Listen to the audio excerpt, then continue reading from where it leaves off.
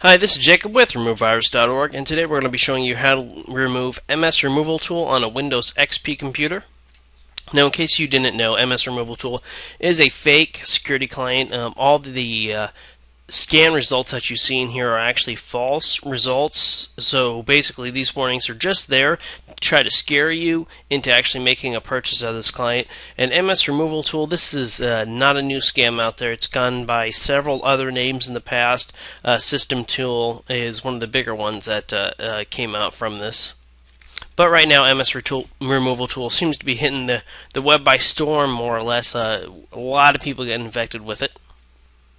And here's another image of uh, one of the false warnings that you're going to see from it. Now, the first thing you're going to want to do is you have to stop the actual process, the executable that is causing this virus basically to run that's causing this program to run. So we need to terminate that in order to remove this process. And to do that, there's multiple different ways. For those who can open up the task manager, go ahead and hold down Control Shift Escape and see if the task manager will come up for you. Now, for some it will, especially the very second you log in to your computer, you may be able to get it to open on you.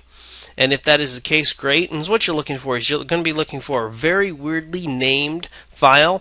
And if you're on Windows 7 and Windows Vista, I strongly recommend you read or, or watch our other guide because we show you exactly what to do there on that. So in this instance, this is the actual file for us and it's going to be a long file name right around 9 to about 14 characters long it's going to be very weirdly named and and it's pretty easy to pick out just because of the length. You shouldn't have really any other file names that are that long. And that's the process we actually need to end. So I'm just going to hit end process and we're going to watch what happens here. Yes, I want to end it. And boom, right away you saw that that window closed down. If I go down here to the system tool, that icon was there, now it's gone. And it's gone because we were able to remove, or not remove that threat, but stop that threat from running. Now, for those of you who cannot um, bring up the task manager, that's alright. Here's another way for you to do it. You can go to the Windows Start button, go to Run, type in ms config, And so what that's going to do is it's going to bring a startup menu, and even if this menu doesn't come up, we'll show you another way to do it. And if you if you're really really having troubles, be sure and read the manual guide on removevirus.org first. And if you still can't do it and you need expert help, uh, you can ask your questions there. Otherwise, we recommend out onlinecomputerrepair.org. Again, it's going to be onlinecomputerrepair.org. Um, it's a small computer repair company based out of California. They do a really good job and for a very fair price. So what I want to do is I want to go under startup items and look here under startup items. And this won't be for everybody. I need to stress that. In here, you may actually have that file running. So what you can do is you can look under the command and just look for a very, very long named file. And it might be there for some. It might be there, might not be there for you. But uh, in our case, it isn't at this time, but chances are it will be uh, in a later edition of this threat. That's how it usually mutates out. So let's go ahead and show you another way here. And this is the default location of this file. And irregardless, once you stop it with the task manager, you'd have to go here anyways.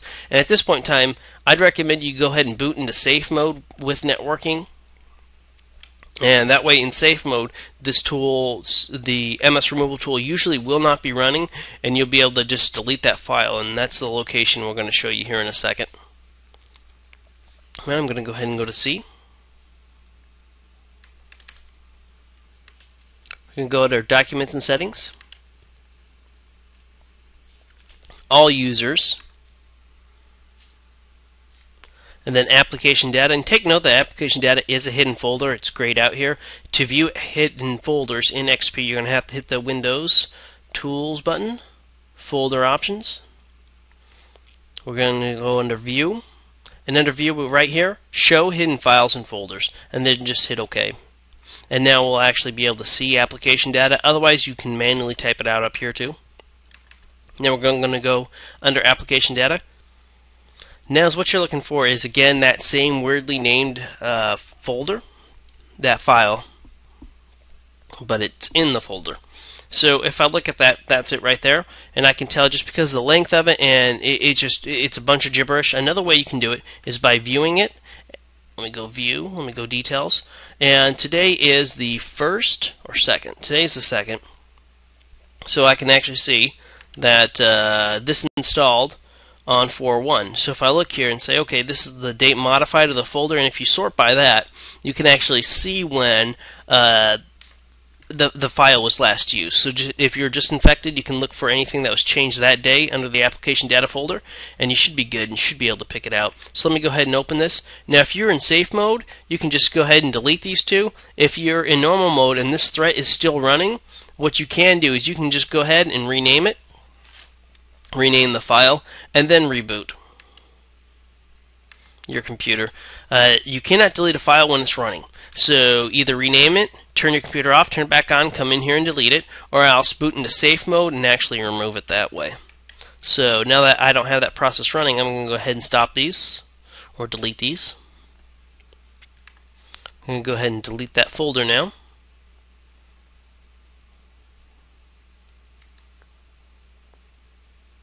And at this point in time, this threat is no longer running on the computer. However, there may be some leftover registry keys. That's okay. They're going to be benign because you already killed off the main executable. But the real threat here uh, may be that you may have some other Trojans and viruses on your computer. Just because you stopped this threat doesn't mean that you eliminated the viruses on your computer. Chances are you probably still have one or two or some other on the system. That's why it's strongly recommended that you go out and you, you actually run an antivirus scan. Now, if you're still having some issues removing MS Removal Tool, head on over to the removevirus.org website. Uh, there, we actually have the manual guide uh, for you to follow along with, as well as a few other videos and the like that'll really help you out. And the manual guide's also going to have any of the updates and some extra tidbits and tricks. And while you're there, be sure and hit the Facebook like button. That just helps build social proof for our site. And uh, also, uh, the antivirus clients that we recommend is going to be Stopzilla and then Spyware Doctor with antivirus. And you can go ahead and download Stopzilla right from our website. If you were to make a purchase of either of these clients, uh, RemoveVirus.org does make money off of that, and that's how we can continue to write these free guides and actually do research and the like on these other threats that are coming out. And I did go in ahead and I ran a full scan here. And as you can see, it did find quite a bit of stuff. Now, everybody's going to be a little different. You may not have the Google redirect, you may have the Google redirect. It just depends ultimately what Trojan actually installed the MS removal tool or if you were tricked into making the install uh, via video codec or update, something along the lines. It just depends how ultimately you got infected, whether you will have anything else in the system. That's why it's so important to run a scan so you know, hey, yes, I do have a Trojan that's tracking me online or not. Uh, and uh, the nice thing about Stopzilla is it does actually quarantine the threats. No, it doesn't remove it. Um, it will if you actually make a purchase of it. Otherwise, the free version just quarantines it. Uh, most antivirus clients are used that way. They have the free scan and they'll show you the results, but they won't even quarantine it. You got to pay for that to happen. Um, but Stopzilla does automatically quarantine threats. So hey, um, it's better than nothing. Otherwise, we do like Stopzilla. It does a really, really good job of not only protecting you on the front end, but also on the back end too. So if you're actually infected with MS removal tool and something else, it can really help uh, actually remove that threat. And I should also mention here that uh, Stopzilla is one of the few antivirus makers out there that actually uh, write their software so it can punch through a lot of viruses. So yeah, how you have what, what no other program will run when MS Removal Tool is running. However, Stopzilla is one of the few programs that you may be able to install, and I know they're working on a, on a fix for it right now, so it can install and punch through the MS Removal Tool and quarantine it right away for you. So that's really cool because no other antivirus maker that I'm aware of actually does that. Well, that's all I have. Uh, be sure and stop over to removevirus.org. Hit the Facebook like button if we were able to help you out, and feel free and ask any questions you have on the removevirus.org website too. Uh, we always try to answer any questions over there. And that is it. I hope it helped. Take care.